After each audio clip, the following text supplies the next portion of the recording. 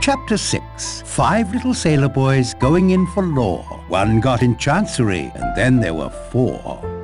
One more of us acquitted. Too late. So she wasn't passed over after all. I could have told her that wasn't likely to happen. It's almost more than I can bear to stay in the house. Five gone now. Five lying in their rooms under those sheets. Cold. Forever cold now. Steady on, Vera. We can't lose our grip now. Bleak House by Charles Dickens is a scathing indictment of the Chancery Court until it was merged with the common law courts in 1873. At its worst, cases of estates and inheritances could carry on for the entire lifetimes of those involved. To get caught in Chancery Court literally might have meant one could die there. I can't help but feel that Mr. Owen has that particular fate reserved for me. My time would appear to have come. Miss Brent refused protection. At least what mortal hands could provide. Will you, Judge? Not at all. I welcome it. My days on this earth may be few at this point. All the more reason I relish every one. But it was the participants in the cases whom the Chancery Court often crushed, not the judges. An interesting point, Miss Claythorne. I'll certainly have to think that over. There is another point I'd like to make. There usually is. One of us is a murderer. Everything must be done to safeguard the four of us who are innocent. Mr. Lombard, you have a gun. I'll be damned if I'll give up my revolver. Happily, there are enough of us still alive to force the issue if necessary. Oh, very well then, since you've got it all taped out. It's in the drawer of the table by my bed. I'll get it. I'll just keep you company if you don't mind. How are you holding up, Vera? I'll be fine as soon as Philip returns. Any idea why Miss Brent might have gone to the apiary? Even with her belief in divine intervention on her behalf, I don't see her going there of her own free will. A good evening to you, Miss Claythorne. Stay safe. What can we do to best protect you, Judge? We must protect each other. Miss Claythorne is right. It may be only my ego insisting I'm the next victim. Even if I am, Owen is running out of time. Your brother is certain to raise the alarm if you don't return tomorrow. That means a boat, weather providing. Owen still has much to accomplish before then. If I'm guarded, he may well pass me over. Perhaps drop his little rhyming schemes entirely. The innocent among us are all equally at risk. What's your opinion about how Miss Brent got to the apiary? That one point has been worrying me like a bit of beef stuck between my teeth.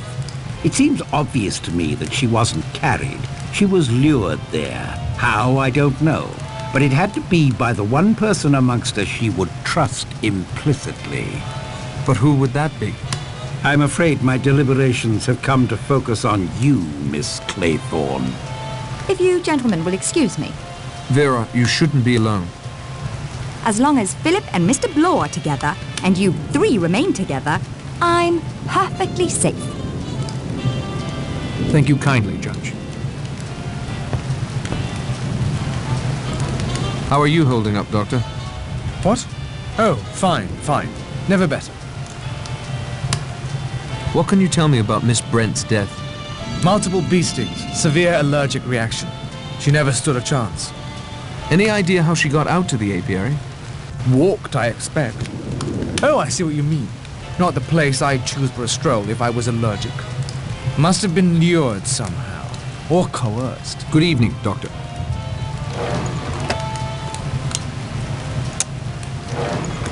Perhaps that will satiate the good doctor's sweet tooth. Are you sure you can't tell me any gossip surrounding the Seaton case? Gossip my eye. I got it directly from Sir John Matthews, KC, who was observing.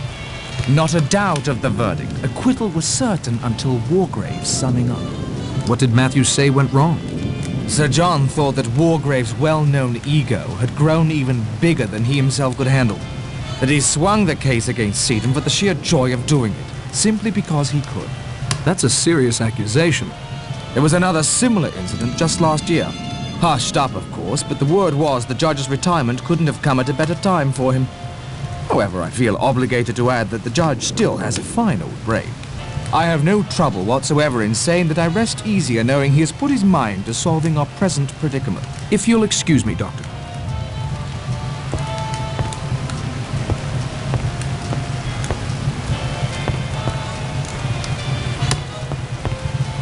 Snooker, Doctor? I'm not sure I could give you much of a game. Hands. Hands are a little shaky. But I'll try if you like. Excellent.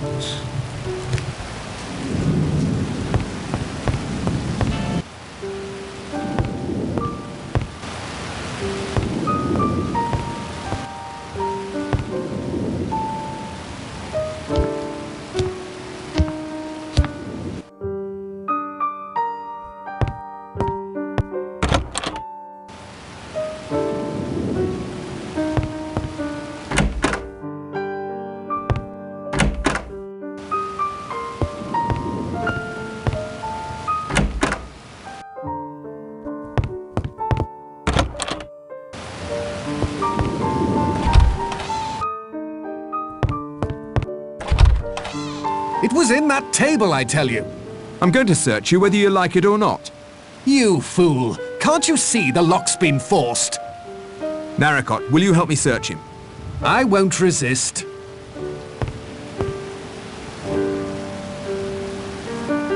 Nothing. Now it's your turn. Not even a stray bee. And you, Mr. Narracott? Go right ahead.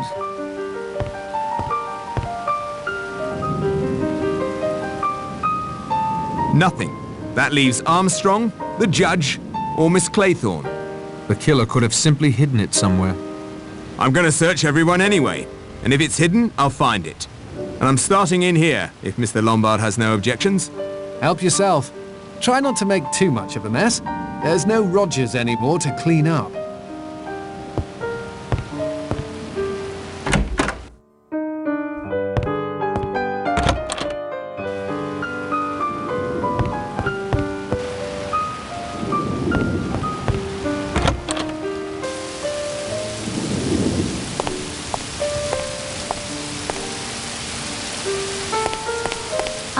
You some more later.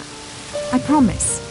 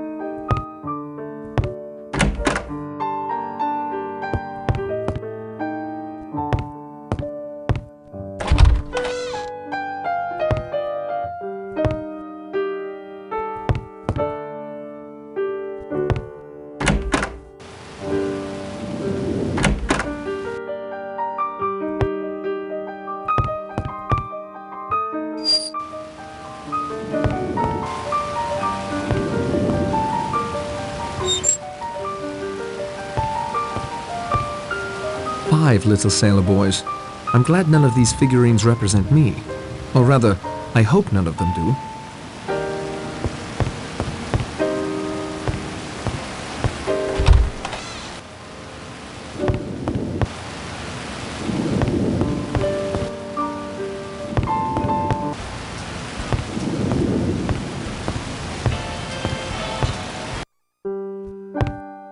Well, Doctor? A dangerous game.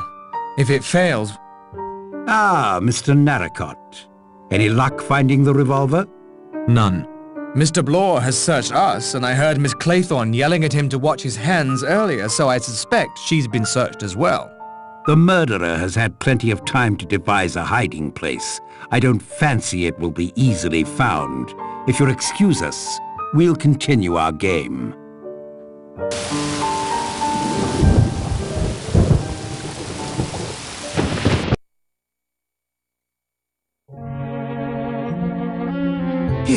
This? There's something written on the bottom of Narracott's plate.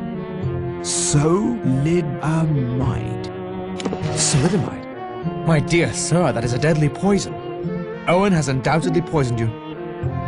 Is there an antidote? Yes, turpentine oil, but I have none in my bag. I don't feel anything yet. How long do I have?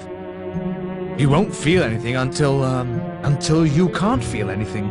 You have an hour or so, I'd estimate. No more.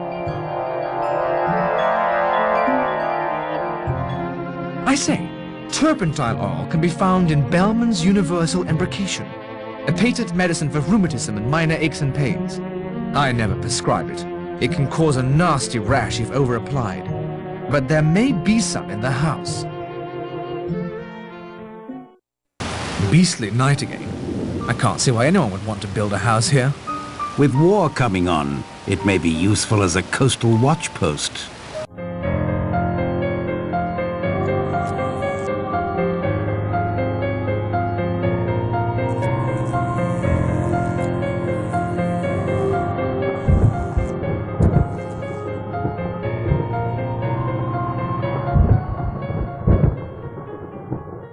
The generator again.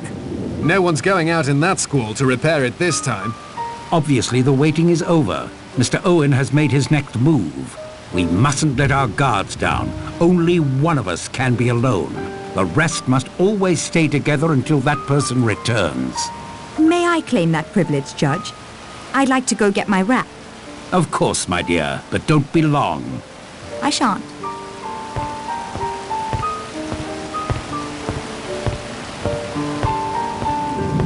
You really think there'll be a war, Judge? I don't see it myself. One world war should have shown any sensible person the folly of such a course. My dear doctor, if there's one thing I believe Mr. Hitler is not, it is a sensible person. That was Vera screaming. I think it was coming from her bedroom.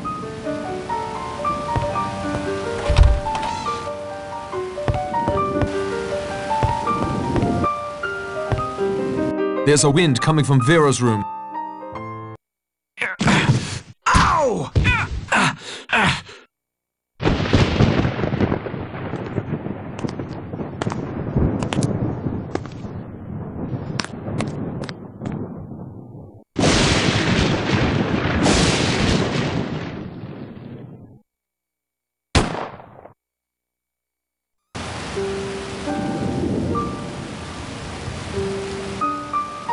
Sounded like it came from the dining room.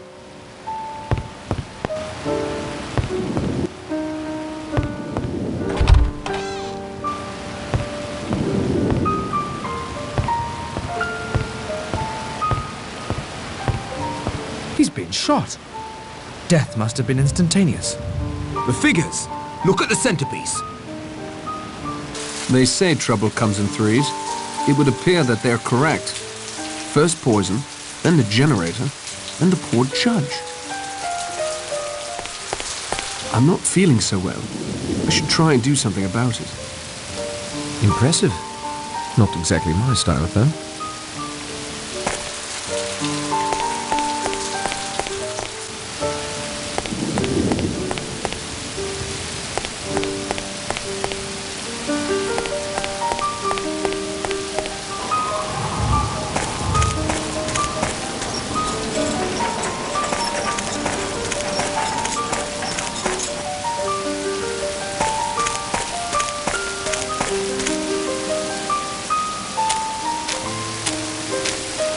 Hello, what's this?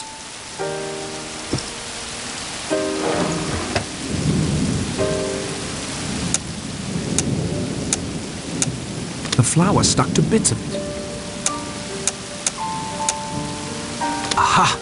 A fingerprint.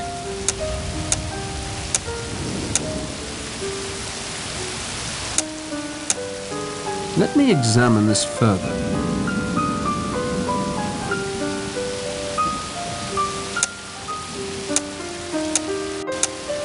This appears to match Emily's fingerprint.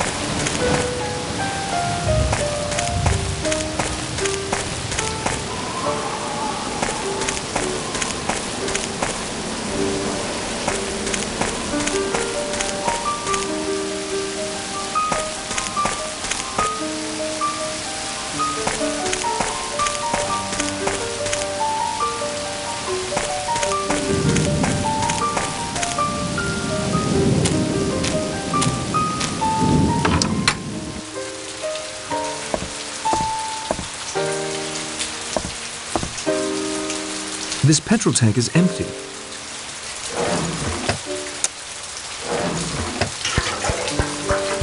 The petrol tank is now full.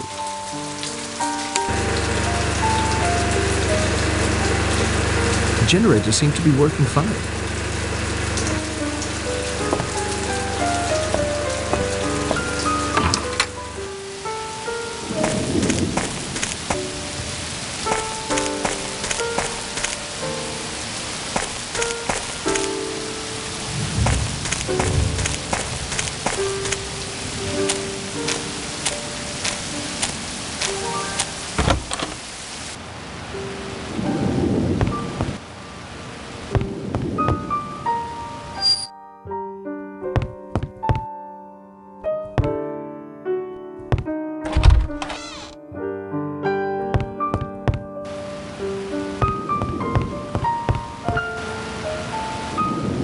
Narracott, leave the investigation to me right now and find yourself an antidote.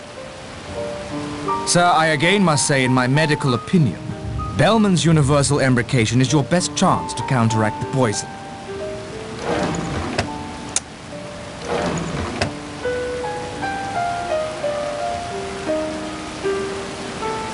That did the trick. I feel much better now.